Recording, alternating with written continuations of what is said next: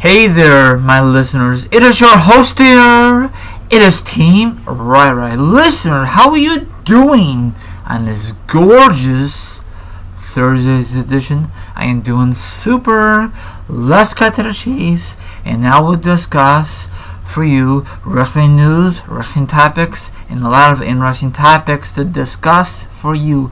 Yes, you. So sit back, relax, put your feet up, grab something to eat, grab something to drink. Now, if you don't want to do nothing like that, that's fine and dandy. Maybe you want to chill like a villain and hear my thoughts and opinions on this certain matter, and there will be an article down below.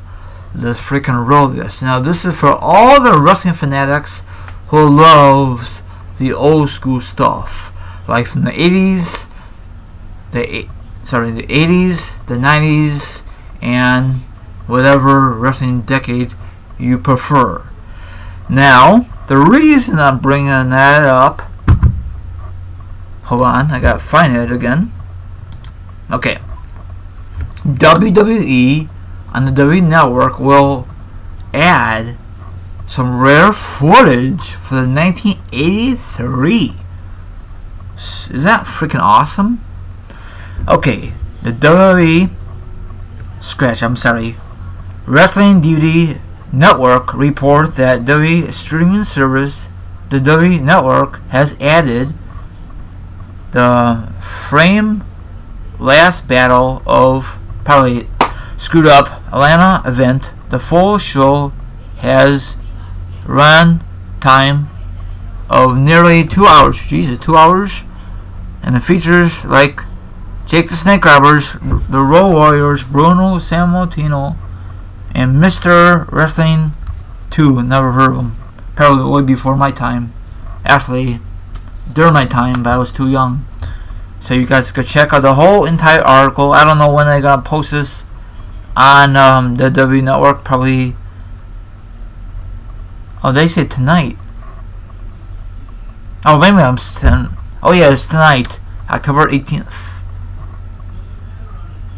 Um, I don't know when they're gonna post it. Maybe it's there now. I don't know. Let me know if, if it's on the W Network already. They usually do these kind of announcements right away. You know, I love W Network.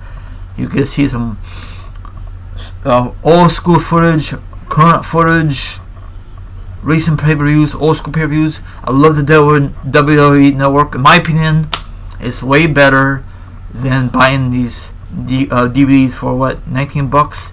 That is ridiculous.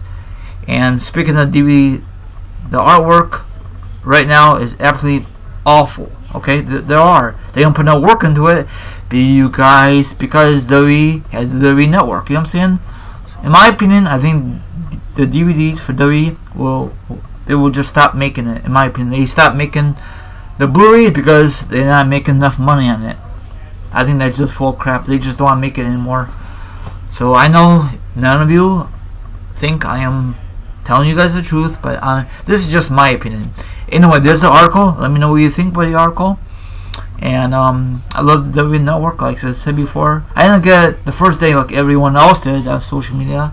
That's kind of silly. But I got it a couple weeks after they launched it.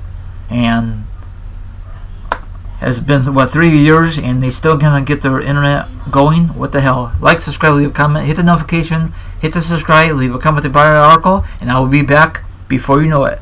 Later. Have a good one. Sorry i, I totally messed up here at the end. Hopefully you enjoy this podcast. Subscribe hit, hit the favorite hit the notification and i want some positive feedback about the article. Thank you very much for listening